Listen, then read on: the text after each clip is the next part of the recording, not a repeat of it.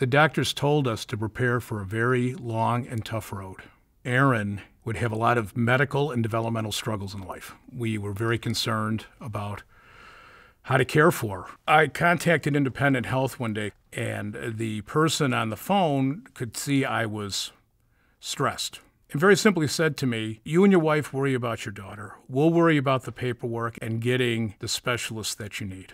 If you ever want proof of a miracle, take a look at her.